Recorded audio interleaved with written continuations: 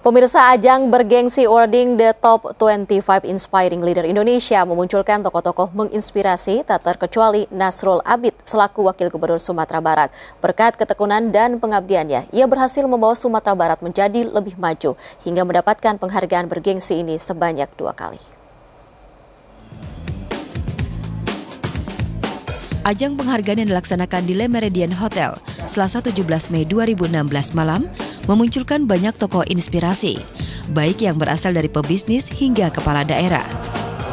Ditemui di Gedung Sasono Mulia 3 Hotel Le Meridian Jakarta, Nasrul Abid mengungkapkan kebahagiaannya karena menerima penghargaan ini yang kedua kalinya.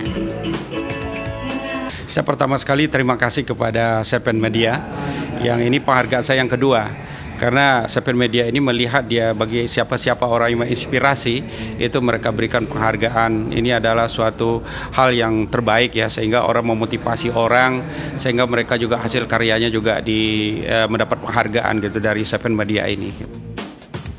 Selain itu, Nasrul mengatakan seluruh daerah Indonesia harus berupaya memperbaiki semua sektor, sektor pendidikan, pariwisata, dan ekonomi harapan saya ke depan itu semua daerah-daerah tertinggal eh, di seluruh Indonesia ini tentu kita harus berupaya bagaimana kita bergerak di sektor pendidikan, kesehatan dan ekonomi masyarakat sehingga kabupaten kita keluar dari kabupaten tertinggal. Tentu IPM-nya akan naik, tentu eh, harapan kita eh, kesejahteraan masyarakat akan lebih baik di masa depan.